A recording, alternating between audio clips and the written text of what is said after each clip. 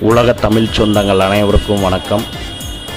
தீரன் Chinnamalai counter அவர்களின் நினைவு தினம் இன்று தமிழகத்தில் பல்வேறு பகுதிகளில் வெள்ளாளர் முன்னேற்ற கழகத்தின் சார்பாக வீரவணக்கம் செலுத்தப்பட்டது. இந்திய சுதந்திர வரலாற்றில் கொங்கு பகுதியில் ஒரு வீரத்தை விதைத்தவர் தீரன் சின்னமலை கவுண்டர். வரி வசூல் செய்ய வந்த ஆங்கிலேயர்களை புறமுதுகிட்டு ஓடவிட்டவர் தீரன் சின்னமலை கவுண்டர். கொங்கு மண்ணில் கொடி பிடித்தவர் தீரன் சின்னமலை கவுண்டர். ஈடு இணையற்ற வீரத்திற்கு சொந்தக்காரர் தீரன் சின்னமலை கவுண்டர். அவர்களின் நினைவு தினத்தை தமிழகத்தில் பல்வேறு மாவட்டங்களில் வெள்ளாளர் முன்னேற்ற கழகம் வீரவணக்கம் செலுத்தியதோடு மட்டுமில்லாமல் தமிழகத்தில் பல்வேறு பகுதிகளில் வெள்ளாளர் முன்னேற்ற கழகத்தின் சார்பாக சுபரொட்டிகள் ஒட்டப்பட்டு அவரது தியாகத்தை பறைசாற்றினர். திருவாரூரில் தீரன் சின்னமலை கவுண்டர் அவர்களின் திருவுருவ சிலைக்கு முக்குளத்தோர் புலிப்படையின்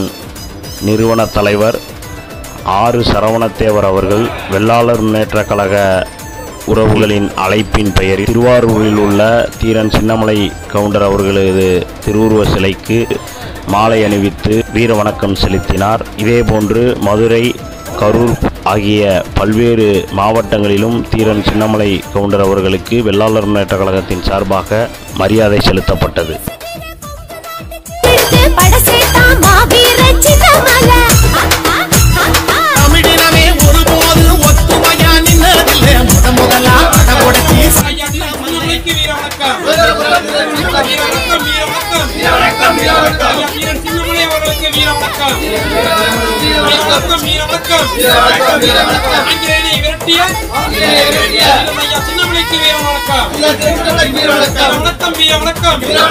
வணக்கம். வெள்ளையினை விரட்டிய ஐயாவுக்கு வீர வீர வணக்கம் வீர வணக்கம்